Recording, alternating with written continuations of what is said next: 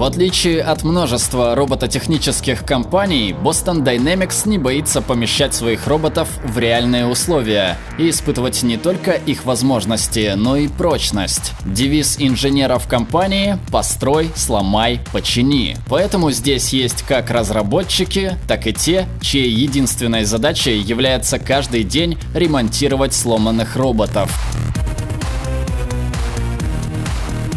Самый знаменитый робот компании Atlas. Первое, не слишком удачное выступление робота состоялось на DARPA Robotics Challenge, целью которого было создание человекоподобных роботов, способных работать в условиях, предназначенных для людей. Надо сказать, зрелище в основном было жалкое. Это подтверждает мнение, что человекоподобные роботы менее функциональны, устойчивы и эффективны, чем четвероногие.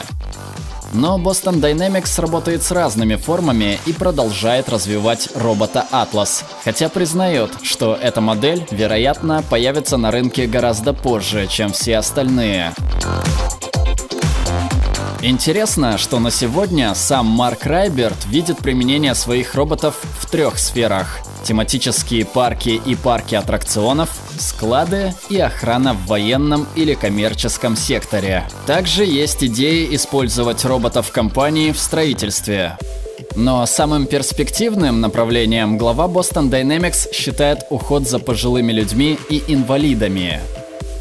Я всегда хотел, чтобы роботы помогали мне ухаживать за моими родителями, когда они состарятся, но в действительности они, скорее всего, будут помогать моим детям ухаживать за мной, говорит Райберт. Роботы Spot Mini должны вот-вот поступить в продажу, но ни дата старта продаж, ни цена до сих пор неизвестны. Но цену эксперты оценивают в 100 тысяч долларов за штуку. Подбор аккумулятора для таких машин – нелегкая задача. На рынке есть множество маленьких батарей для продуктов вроде электрических дрелей и большие батареи для электрокаров – но нет ничего промежуточного. Инженерам Boston Dynamics пришлось много работать над аккумуляторами, чтобы они были безопасны, надежны и легко заменимы. Выводить на рынок Spot Mini будут как платформу для сторонних разработок. Это и дополнительное оборудование, и программное обеспечение. Технические характеристики всех роботов компании мы давали в видео, ссылку на которое вы сейчас видите в подсказке.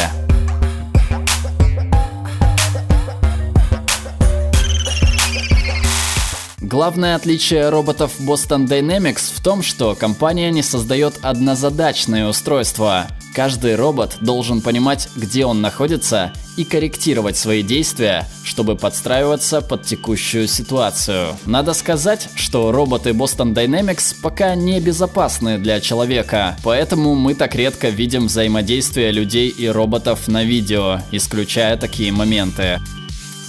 Это связано с тем, что вопросы безопасности серьезно усложняют процесс разработки. К тому же, сегодня почти любой может обмануть сенсоры робота, если захочет. Так что пока компания сосредоточена на том, чтобы все базовые задачи выполнялись без сбоев. Кстати, Марк Райберт вообще не считает, что роботы в ближайшее время будут обладать той степенью автономности, которой стоит опасаться, пока они для этого слишком ненадежны и уязвимы. Что в итоге? Boston Dynamics 25 лет работала лишь на то, чтобы сделать своих роботов равным людям и животным, или даже превзойти пресловутые кожаные мешки. Так станет ли робот Atlas от Boston Dynamics в будущем терминатором? Маловероятно. Он недостаточно умен и слишком дорог. Но нельзя отрицать тот факт, что сегодня мы вживую видим то, что 10 лет назад казалось научной фантастикой. Пишите в комментариях, что думаете о перспективе роботов Boston Dynamics и не забывайте делиться видео.